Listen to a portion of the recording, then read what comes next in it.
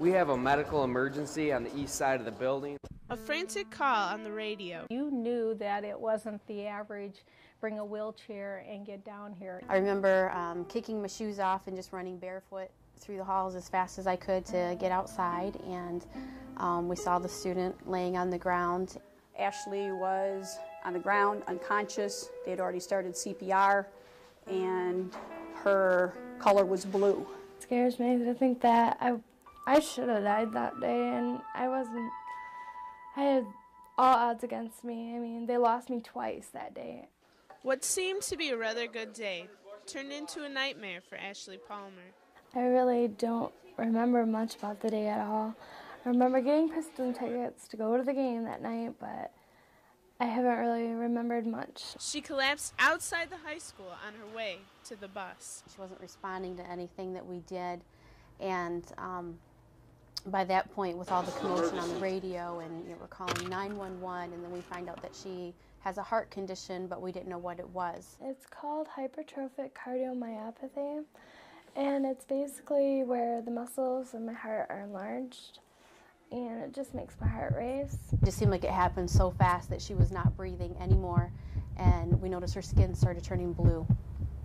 And so immediately, um, Mrs. Steinkraus and I looked at each other and we said, CPR.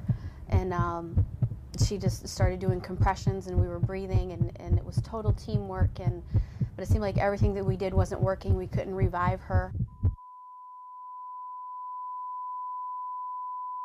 I just remember seeing the look of death on ashley. I, I, I knew she was gone.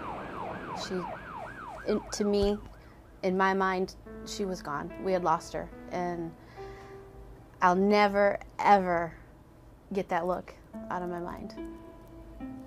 Ever. Although death seemed inevitable, there was one last hope. And then immediately we said, we need the AED. I ran to the old athletic director's office and grabbed it off the wall, and then ran through the hallways to um, other side of the building. Like an angel with light behind her was Miss Ailing says with the AED, she goes, do you need this? And I said, yes, we need this.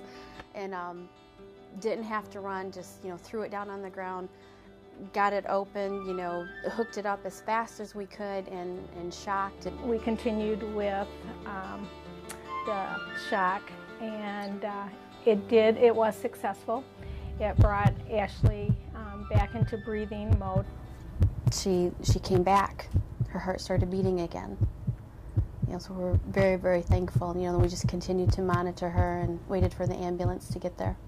Absolutely, it was a miracle. Um, we're people. We don't control life and death like that. Um, God's hand was on it right from the beginning and uh, gave us the clear minds to do what we had to do. She looks awesome. There's nothing wrong with her. You know, God answered our prayers when we prayed, you know, don't there be any brain damage, just let there be complete healing in her body, and, and He did that. You know, there's, she looks fabulous.